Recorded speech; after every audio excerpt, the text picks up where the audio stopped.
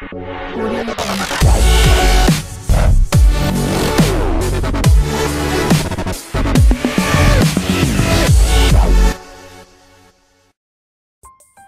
Star Pawan Kalyan ప్రస్తుతం త్రివిక్రమ్ శ్రీనివాస్ దర్శకత్వంలో నటిస్తున్న సంగతి తెలిసిందే.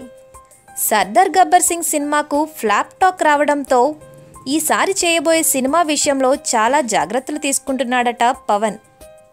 ముఖ్యంగా అభిమానులు పవన్ నుంచి ఆశించే ఫన్ యాక్షన్ ఎపిసోడ్స్ పుష్కలంగా ఉండేలా ప్లాన్ చేస్తున్నాడు. ప్రస్తుతం హైదరాబాద్లో షూటింగ్ జరుపుకుంటున్న ఈ సినిమాకు సంబంధించిన ఇంట్రెస్టింగ్ అప్డేట్ ఒకటి ఫిలిం నగర్ సర్కిల్లో వినిపిస్తోంది. క్రేజీ కాంబినేషన్లో తెరకెక్కుతున్న ఈ సినిమా టైటిల్ను చిత్ర యూనిట్ ఇంతవరకు అనౌన్స్ చేయలేదు. అయితే సోషల్ మీడియాలో మాత్రం రకరకాల పేర్లు ఫస్ట్ లుక్ పోస్టర్లు హల్చల్ చేస్తున్నాయి.